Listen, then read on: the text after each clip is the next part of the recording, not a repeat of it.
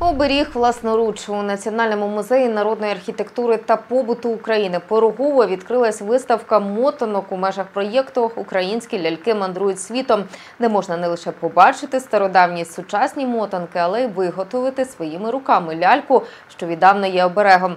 Більше про українські традиції виготовлення мотонок у сюжеті Світлани Звонок. Ось такої невеличкої дівчинки. Обмотуємо до тих пір, де буде в нас умовно талія. Це в нас каркас самої лялечки. Ось. І це вже основа, вузлик такий, це вже є лялька, яку ми будемо зараз одягати. Майстриня Вікторія Філь створює свої мотанки виключно з натуральних матеріалів, таких як льон та бавовна. Каже, що справжня українська лялька має бути без швів і без обличчя. Молода дівчина в образі нареченої. Е, Зазвичай таку великі красиві ляльки могли дарувати на весілля мати своїй дочки, побажати, щоб краси, здоров'я, е, достатку, тобто е, багатий костюм, це передбачалося побажання багатства, достатку.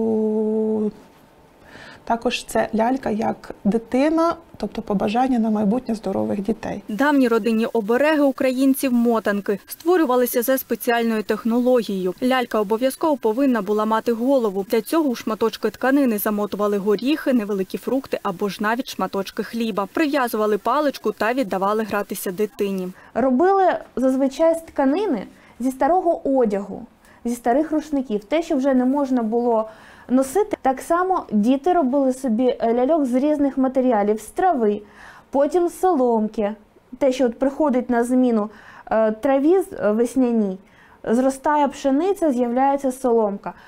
В осінню вже це були кукурудзяні листочки.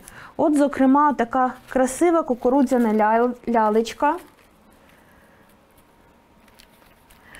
Зроблена вона за тією самою технологією, як і звичайна лялька-мотанка. Вигля... Має той самий вигляд. Єдине, що е, в основі мається не тканина, а кукурудзяні листочки. За словами завідувачки відділу виставкової роботи музею Олени Громової, на виставку потрапили роботи, які були створені українськими майстринями під час окупації у перші місяці війни. Також є мотанки, що створювали за книгою відомого дослідника української ляльки Олександра Найдана. Основна мета за книгами Олександра Найдена та Людмили Орлової відродити старі давні ляльки. Тут, до речі, є Олександр Найден, це доктор мистецтвознавства. Він їздив по всій Україні, і на Черкащині вони познаходили старі зразки, ще й тих старих майстринь, які робили ці ляльки. І тому ідея була об'єднати. Да?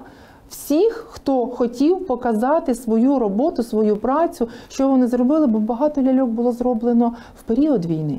І це теж важливо бачити, чим українки займаються. Втім, на виставці можна не тільки помилуватись ляльками-мотанками, а й зробити свій власний оберіг. Виставка триватиме до 30 жовтня у музеї під відкритим небом Пирогово у приміщенні сільської управи із села Мліїв з четверга до понеділка з 9 до 18 години. Світлана Звонок, Георгій Воронов. Новини Правда тут.